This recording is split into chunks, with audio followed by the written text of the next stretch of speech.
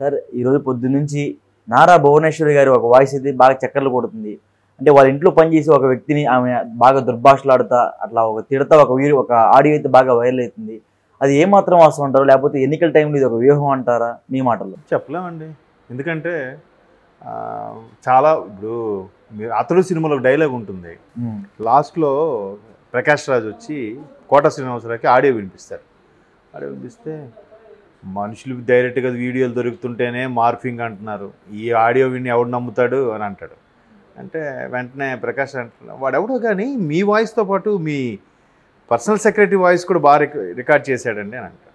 So ఇక్కడ అంటే ఆ స్థాయిలోకి వెళ్ళిపోయి మిమిక్రీలు అన్నట్టు కూడా చాలా సందర్భాలు మనం చెప్పాం. ఎందుకంటే కొంతమంది సీనియర్ ఆర్టిస్టులు చనిపోయినప్పుడు వాళ్ళు సినిమా అంతా పూర్తి చేసి డబ్బింగ్కి లేకపోతే డబ్బింగ్ ఆర్టిస్టులతో చెప్పిన సందర్భాలు కూడా చాలా ఉన్నాయి. మీకు ఐడియా ఉందా? కొండల లక్ష్మీరావు గారు కూడా లాస్ట్ చివరి స్టేజ్లో ఆయన చనిపోయి కొన్ని సినిమాలు చేసినప్పుడు ఒక మ్యూజిక్ ఆర్టిస్ట్తో చెప్పించారంట అలాగే ఇంకా ఇద్దరు ముగ్గురు పేర్లు గుర్తు రావట్లేదు. సో ఇప్పుడు ఈ ఇప్పుడు ఏమిటంటే ఆ పర్టికులర్ ఛానల్లో వస్తుంది. అంతవరకు వీడియో విజువల్ వేస్తున్నారు. ఇక్కడికి వచ్చేసరికి ఆడియో వేస్తున్నారు. పోని దుర్భాషలు ఆడింది అనుకుందాం. బయటికి పో అని తిడుతున్నారంటే అక్కడ వాడు దొంగతనం చేశాడో లేదంటే ఏదో ఎదవ పని చేశాడో ఏదో చెప్ తిడతారు జనరల్గా ఊర్లలో కూడా మీరు ఇప్పటికీ అబ్జర్వ్ చేస్తే తిట్టాడనగానే తక్కువలు తక్కువ వాళ్ళు తక్కువ బుద్ధులు అన్నట్టుగా మాట్లాడతారు. అంటే తక్కువ అంటే ఇన్ ద సెన్స్ అంటే ఎవరి కాడ అనుభవించుకోవడమే అంటే తక్కువ సామాజిక వర్గం అనే తిండికి లేనివాడనే సొసైటీలో పేరు పేరు పేరు బలగం లేనివాడనే అర్థం ఏంటి తక్కువడంటే ఎవరికి వాడు రాసేసుకుంటాడు? అందుకే తక్కువడంటే నిమ్నజాతి వాళ్ళని తక్కువ వాళ్ళు అన్నారేమో. ఇంకోటి ఏమనుకుంటాడు? ఆహా వీళ్ళు పేదోళ్ళు అయి ఉంటారా అందుకే వీళ్ళు డబ్బు లేదు కాబట్టి తక్కువవాడు అంటున్నారు. లేదా వాడి క్యారెక్టర్ మంచిది కాదు కాబట్టి తక్కువ ఏది కరెక్ట్ ఆడియోని పట్టుకునే కదా ఇవన్నీ చెప్తున్నారు. అంతేనా? మేబీ ఒక కాసేపు అది వాస్తవమే అనుకుందాం. దానికి ఎంత బాగా హైలైట్ ఎందుకు చేస్తున్నారంటే ఎన్నికల టైం ఎన్నికల వ్యూహరచనలో భాగంగా. ఎందుకంటే అసలు ఎప్పుడు చంద్రబాబు గారు ఈ రాజకీయాల్లో గత ముప్పై నలభై ఏళ్ళుగా ఉన్నప్పటికీ ఆవిడెప్పుడు జోక్యం చేసుకోలేదు ఎక్కడ మాట్లాడలేదు రాలేదు. బట్ రీసెంట్గా ఆయన అరెస్ట్ అయిన తర్వాత వచ్చారు మాట్లాడారు. ఇప్పుడు మరలా కుప్పంలో కూడా క్యాన్వాసింగ్కి ఆవిడ వస్తున్నారు సో ఆవిడ వస్తున్నారు కాబట్టి ఆవిడని ఏదో ఒకటి ఎప్పుడు దొరుకుతారా అన్నట్టు చూసినట్టుగా అనిపిస్తుంది నాకు. అంతే కదా.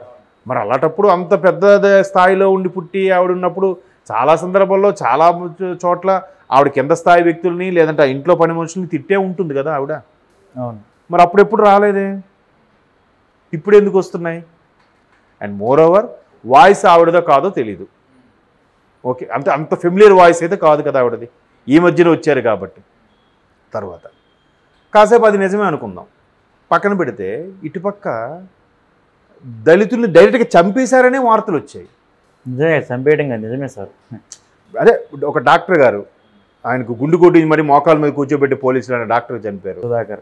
పేర్లు అంటే ఒక్కొక్కటి చెప్తా అది ఎవరో ఒక student ninth class tenth class చదువుతున్నాం తండ్రులు రాజకీయాల గురించి మాట్లాడితే ఆ ఇంపాక్ట్ పిల్లల మీద పడి ఆలాలు గొడవ పడి ఏంటంటే ఆ పిల్లాడు చనిపోయాడు. అంటే వాడు దళితుడు. తర్వాత ఒక డ్రైవరు వాడు దళిత్ అంటే జస్ట్ దుర్భాషలాడితేనే అంత నీచమైన క్యారెక్టర్గా ఎలివేట్ చేసే చేసి చూపిస్తున్నారు భువనేశ్వర్ గారిని. మరి ఇక్కడ మనుషులే వెళ్ళిపోయారుగా. మరి దీన్నేమనాలి కేవలం దుర్భాషలాడి ఇంట్లోంచి బయటికి పంపించేస్తేనే నీచమైన ప్రవర్తన అసలు రూపం బయటపడింది. బయట చెప్పేవన్నీ శ్రీరంగ నీతులు లోపల మాత్రం భూత పురాణము అని ఏవేవో హెడ్డింగ్లు పెడుతూనే ఉన్నారు కదా. జస్ట్ తిట్టినందుకే అంత అయితే మనుషుల్నే లేపేస్తే ఏంటి పరిస్థితి? ఏది ఎక్కువ నేరం? మీరే చెప్పండి. తిట్టి పంపించేయడం నేరమా? లేకపోతే ఆ మనిషిని లేపేయడం నేరమా? లేపేయడమే కరెక్ట్ తక్కువ నేరమేమో. ఎందుకంటే లేపేస్తే ఆడికి బాధపడ్డు కాబట్టి ఏకంగా పోతాడు కదా.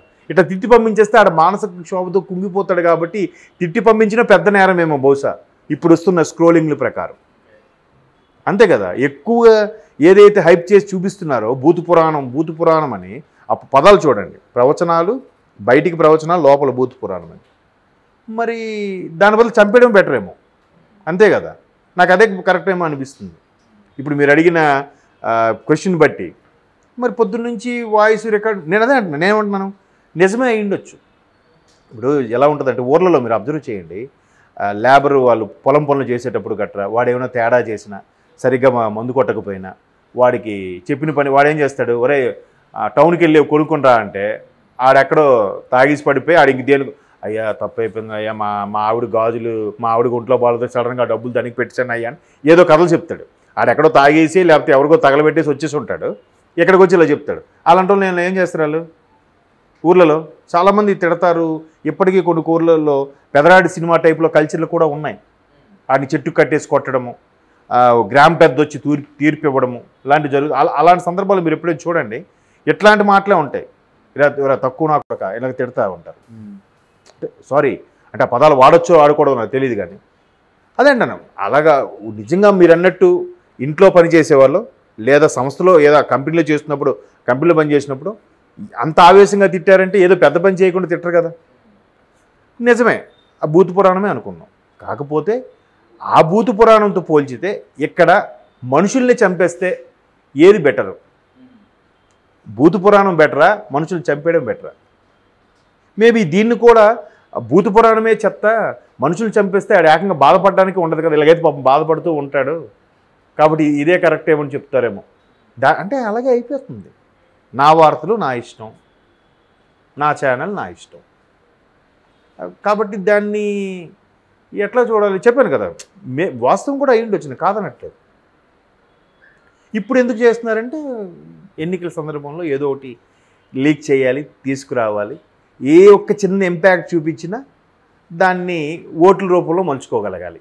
లేదా అటువైపు నుంచి వరుస పెట్టి వాళ్ళు దాడులు చేస్తున్నప్పుడు వీళ్ళకి కూడా ఏదో చిన్న హింట్ దొరకాలి కదా.